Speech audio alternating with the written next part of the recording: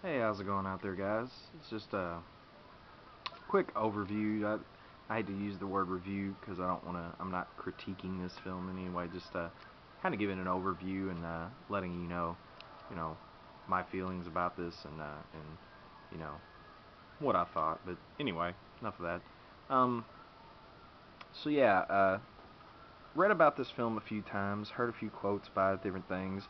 It's a thriller, a cruel picture, or uh, also known as, I do believe they call her One Eye.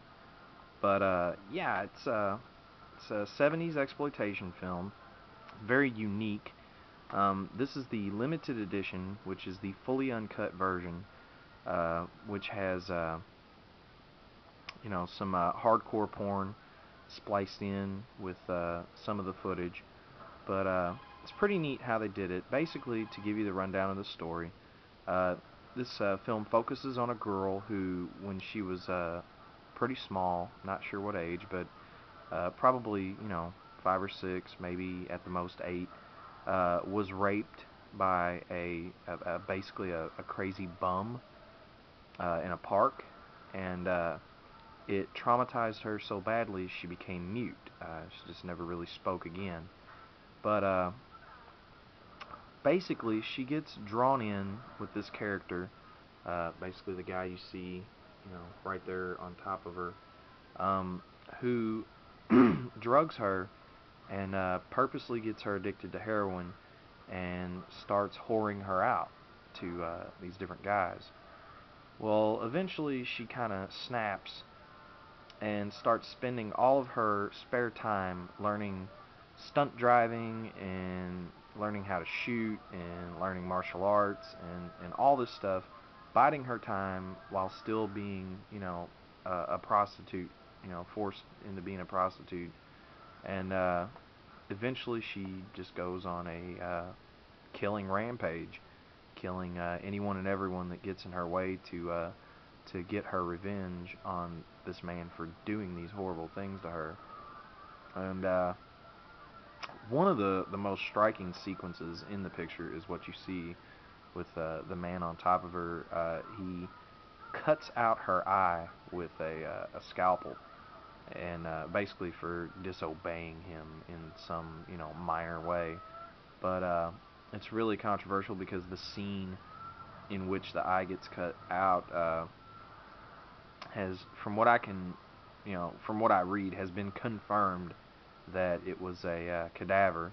They paid uh, a mortuary or morgue or whatever to go in and uh, take a, a fresh body of a, of a girl who was a supposed suicide and uh, do some close-up shots of stabbing her eyeball with a uh, a scalpel and it's uh, it's it's pretty nasty it's I mean it's not it, it's just like all real violence is. It's not what you would expect from it, but to know that in your mind when you're watching it that it that it was the real deal is uh, is pretty wild. So, but uh, yeah, for for people who are fans of uh, stuff like this, 70s, uh, uh, you know, exploitation films and and whatnot, this one's pretty extreme. It's pretty good though. Really, really enjoyed it.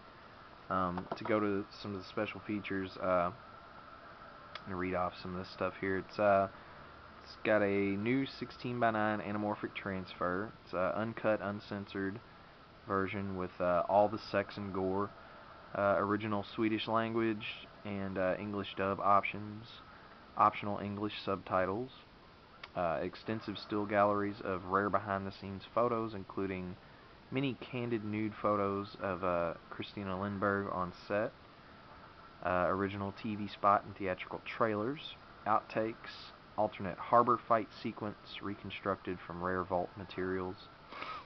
Uh, thriller, a cruel lab mistake, rare photos detailing an unusual fight sequence ruined by the film lab during production. Uh, thriller, the story and pictures, uh, actor, director, filmographies, and chapter selections. Um, down here at the bottom it says this film contains scenes of explicit sexual content, nudity, graphic violence, and drug addiction for sale to persons 18 years of age or older only. Let me let me look inside real quick. I can't remember if I can show you the inside or not. Yeah, I can show you the inside. I can't show you the picture on the other side of the chapter inserts because I'm pretty sure there's some nudity there. Uh, let's see here. I'm gonna aim this away for a second. yeah, okay. There's the back. Uh, it's got you know just the synapse stuff, and then okay.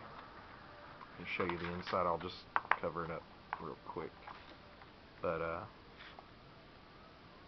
yeah, basically it's got like a little booklet here, kind of detailing the piece, talking about some different things inside and, and whatnot. But uh, yeah, anyway, good stuff as always. But yeah, got this for a pretty decent price. Uh, checked into it before I bought it. I was I had my BlackBerry with me, so I started you know looking it up online see how much it ran, and uh, this cost me 15 bucks used.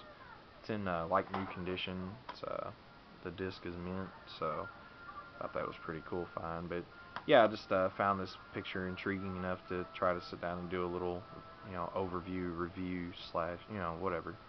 Uh, if I had to give it you know uh, a uh, out of five stars, I, would give it about three. Um, you know, just on uh, just on shock factor and and grittiness alone. I mean, this is you know you could tell an extremely low budget picture, but uh, you know, a lot of times, in my opinion, that's uh, that's the best kind.